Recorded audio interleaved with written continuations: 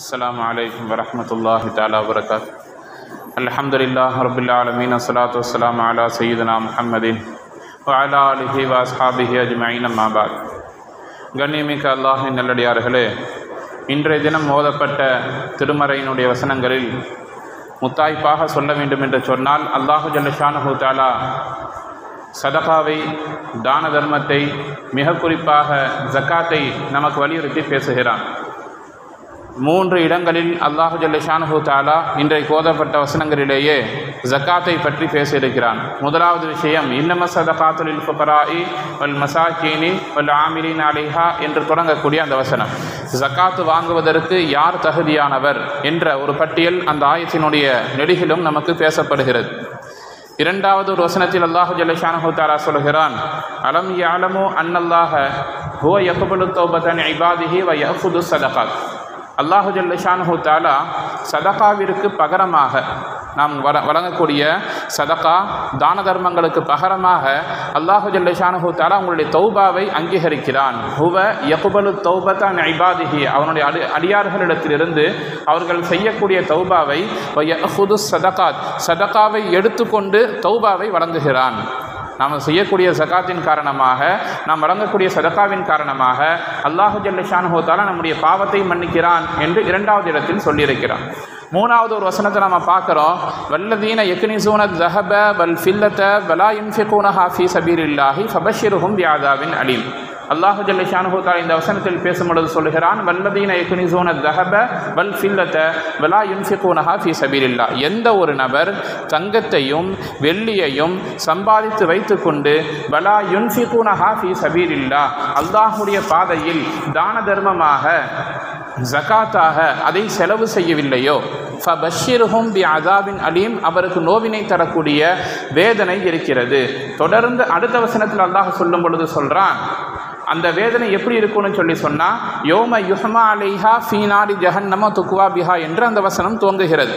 அந்த வசனத்தினுடைய மைய கருத்து என்னன்னு சொல்லி சொன்னால் எந்த ஒரு நபர் போதுமான அளவுக்கு அல்லாஹு ஜல்லிஷானு தாலா அவருக்கு செல்வத்தை கொடுத்திருக்கிறான்.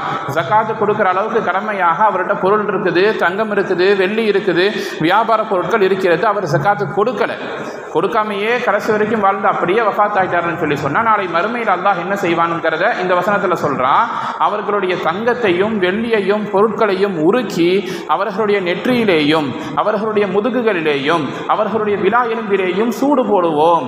அவர்களுடைய காட்சி அந்த ந சொத்தையெல்லாம் காட்சி அவர்கள் மேல் நாம் ஊற்றுவோம். அதைத்தான் நீங்கள் சம்பாதித்திருக்கிறீர்கள் இதை நீங்கள் எடுத்துக்கொள்ளுங்கள் என்று நாம் சொல்லுவோம் என்று அல்லாஹ் ஜல்லஷானு தாலா இந்த வசனத்தில் சொல்லித் தருகிறான் ஆக மூன்று ஆயத்துகளும் நமக்கு சொல்லித்தரக்கூடிய விஷயம் என்னென்னா சதகா ஜகாத் என்பது கடமையான ஒரு தர்மம். ஜகாத்னா என்னங்க? கடமையான தர்மம். கடமையான தர்மம் கடமை இல்லாத தர்மம்னு ஒன்று இருக்குது கையில் பத்து ரூபா இருக்கும் ஐம்பது ரூபா இருக்கும் நூறுரூவா இருக்கும் யாராச்சும் யாசகம் கேட்குறாங்க கணக்கு இல்லை. இஷ்டம் போல் கொடுக்கலாம். இருக்கிறத ஃபுல்லாக கொடுக்கலாம் கொடுக்காமையும் போகலாம் அது வேறு. ஆனால் சதகா என்பது ஜக்காத் என்பது ஒரு மனிதன் கட்டாயம் கொடுத்தாக வேண்டும். எப்போ கொடுக்கணும்? எப்போ கொடுக்கக்கூடாதுன்னு சொல்லி சொன்னால் எப்பொழுது கொடுக்கணும் பத்தரை பவுன் தங்கம். பத்தே முக்கால் பவுனு தங்கம் இருக்குது அல்லது அறுநூற்றி பன்னெண்டு கிராம் வெள்ளி இருக்குது.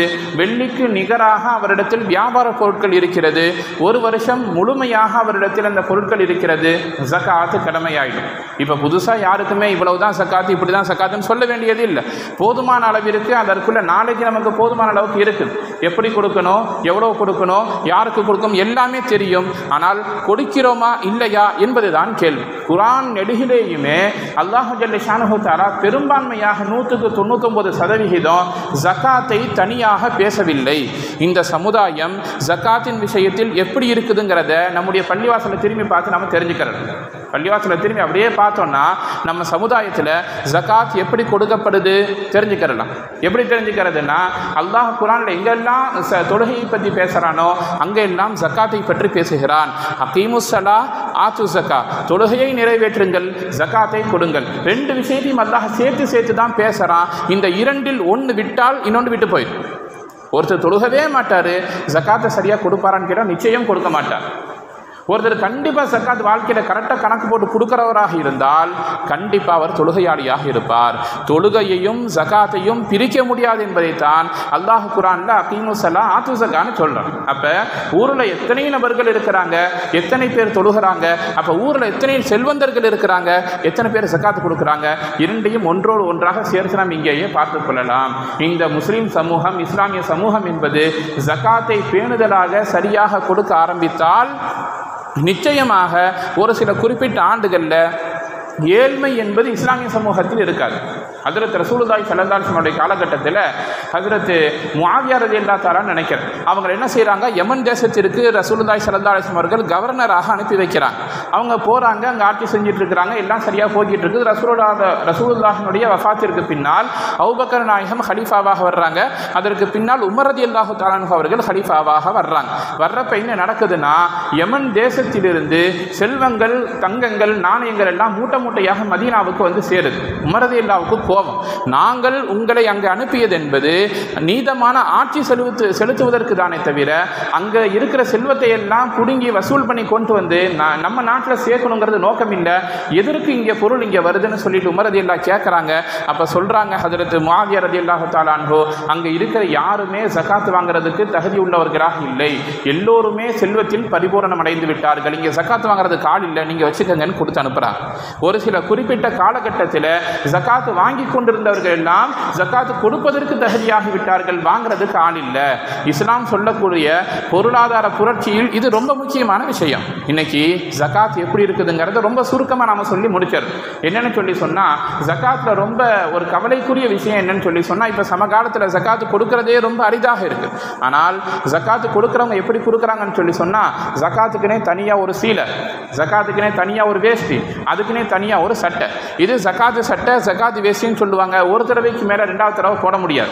அப்போ ஜகாத் எப்படி கொடுக்குறாங்கன்னா ஒரு நூறு சீலை வாங்கிட வேண்டியது நூறு வேஷ்டியை வாங்கிட நூறு சட்டையை வாங்கிட வேண்டியது நாலு பேத்துக்கு பிரித்து நூறு பேத்துக்கு பிரித்து கொடுத்துட்டா ஜக்காத்தினுடைய கடமை பரிபூர்ணமாயிருச்சான்னு கேட்டால் நிச்சயம் கிடையாது. ஜக்காத்தை கொடுப்பதற்கும் மார்க்கம் வழிமுறையை சொல்லித்தருது. எங்கே ஆரம்பிக்கணும்னு சொல்லி சொன்னால் உங்களுடைய இரத்த பந்தத்திலிருந்து ஆரம்பிக்க வேண்டும். கூட பிறந்தவங்களுக்கு முதல்ல கொடுக்கணும். இவர் ஊருக்கே பெரிய ஆஜியாராக பெரிய செல்வந்தராக ஊருக்கே வாரி வாரி கொடுப்பார். கூட பிறந்தவர் அந்த கூட்டத்தில் ஒருத்தராக நின்று வாங்கிட்டு இருப்பான்.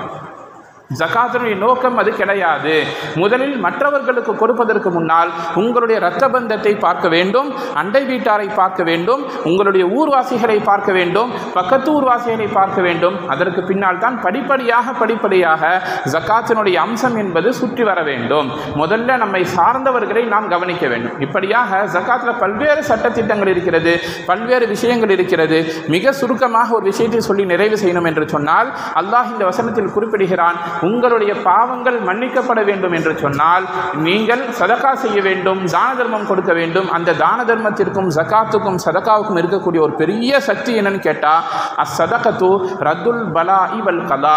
பலா முசீபத்தையும் கலா கதரையும் கூட மாற்றி வைக்கும் அல்லாஹு ஜல்ல ஷானஹு தாரா இந்த நேரத்தில் இந்த இடத்துல உங்களுக்கு இந்த விபத்து நடக்கணும்னு எழுதி வச்சிருக்கிறான் நீங்கள் காலையில் நீங்கள் சக்காத்தை கொடுக்குறீங்க ஏதாச்சும் ஒரு சதக்கா செய்கிறீங்கன்னு சொல்லி சொன்னால் அந்த சகாத்தின் பலனால் அந்த சதக்காவின் பலனால் உங்களுடைய ஆபத்துக்கள் தடுக்கப்படும் கலாக்கதிரில் எழுதப்பட்டிருந்தாலும் கூட அது மா அதை மாற்றுவதற்குரிய சக்தி என்பது சதகாவில் இருக்கிறது ஜகாத்தில் இருக்கிறது. எனவே நாம் நம்முடைய நம்முடைய அந்தஸ்து என்ன நம்முடைய பொருளாதாரம் என்ன என்பது நமக்கு தெரியும். கண்ணியமிக்க அல்லாஹ் நல்லடியார்களே அல்லாஹ் ஜல்லி ஷானஹு தாரா தொழுகையை எப்படி கடமையாக்கினானோ நோன்பை எப்படி கடமையாக்கி இருக்கிறானோ ஜகாத்தை எப்படி ஃபரந்தாக்கினானோ ஹஜ்ஜை எப்படி ஃபரந்தாக்கினானோ அதே மாதிரி தான் ஜக்காத்தும் நம்மின் மீது கட்டாயமான கடமை விட்டு கேட்டால் கேள்வி கணக்கு சொல்ல வேண்டும். நாளை மறுமையில் அல்லாஹ் நிச்சயம் கேள்வி கேட்பான். அதே நேரத்தில் அந்த ஜகாத்தினுடைய பொருட்களை நாளை அல்லாஹு ஜல்ல தாலா சுமையாக நம்ம மீது கொண்டு வந்து ஏற்றுவான். இதே நம்ம முறையாக கொடுக்க ஆரம்பிச்சா வெளியே போகிற ரெண்டரை பர்சன்ட்டு மீண்டும் இருநூற்றி ஐம்பது சதவிகிதமாக உங்கள்கிட்ட நிச்சயம் வந்து சேரும் என்பதில் எந்த சந்தேகமும் கிடையாது. எந்த ஒரு நபருமே ஜகாத்தை கொடுத்து கொடுத்து ஏழ்மையானதாக வரலாறு கிடையாது. அல்லாஹு ஜல்லஷானஹு தாலா தரக்கூடிய உத்தரவாதம் நம்மில் யார் யாருக்கெல்லாம் அல்லாஹு ஜல்லஷானஹு ஜல்லஷானஹு தாலா ஜக்காத்தை கடமையாக்கி இருக்கிறானோ அதை பேணுதலாக கொடுக்கக்கூடிய நல்ல மக்களாக அல்லாஹ் உங்களையும் என்னையும் ஆக்கி தந்திருவானாக வாஹிருதாவான் அலமதுல்லாஹ் ரபுல்லாலமி